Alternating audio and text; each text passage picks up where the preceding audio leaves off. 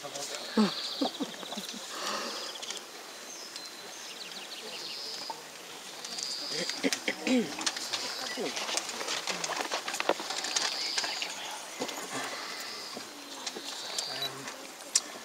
Erik Vold han har sagt at uten Theodor Kittelsen ville Norge ikke blitt Norge. Og det er vel noe av det sterkeste som er blitt sagt om farfar.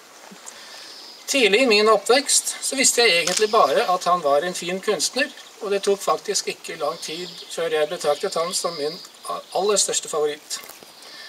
Det at han tilsynelatende kunne male nydelige akvarell landskap i det ene øyeblikk, for så å snu og gi oss svartedauden og dunkle trollillustrasjoner, og også samtidig morsomme penneillustrasjoner, det er noe som jeg alltid har beundret om ham.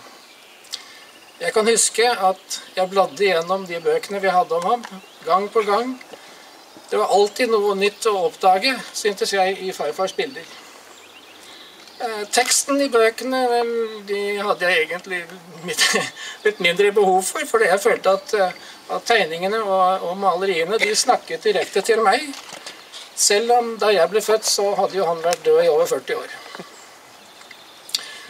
Jeg vokste opp med en farfar som selvfølgelig ikke var fysisk til stede, men uh, det var aldri vanskelig for oss å føle at han var der allikevel. Vi hadde jo både bilder, treskjæringer, og bøker til å minne oss om han. Og mye av det som han hadde laget, det fantes jo selvfølgelig i kopier, så å si overalt.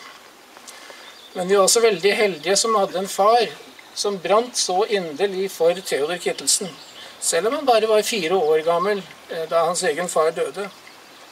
Min far hjalp meg nemlig å sette farfar i et perspektiv, og sette enda mer pris på ham som menneske. Vår datter Julia og jeg var på besøk her på Laulia i 1996 fra Canada. Og Anne-Kat. Vestli var da æresgjesten det året. Og Anne-Kat. spurte da vår datter Did you know that your great grandfather was famous? Og hvorpå Julia svarte Yes, I did. I just didn't know how famous. Farfar, at farfar har betydd mye for alle hans efterkommere, og som kunstner, og selvfølgelig som berømthet.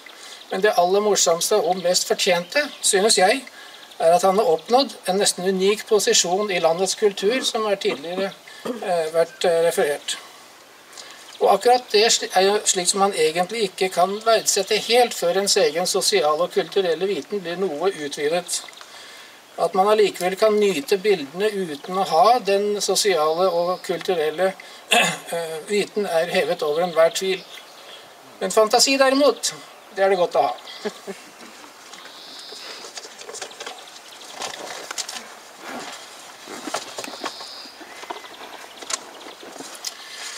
Det er nok naturlig å tro at denne panfløyten ble til eh, som et resultat av farfars vandringer i skogene bak oss, hvor han søkte både tusser, troll eh, og hekser, huldra, nøkken og andre jordlige og utenomjordlige vesener.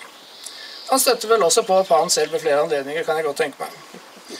Men akkurat denne fløyten den ble faktisk laget mens familien bodde i Hvitsten eh, i 1895. Det var fire år før de faktisk kom hit til Aulia. Denne panfløyten har for øvrig hatt eh, hedersplassen eh, i mitt eh, barndomshjem gjennom hele min oppvekst.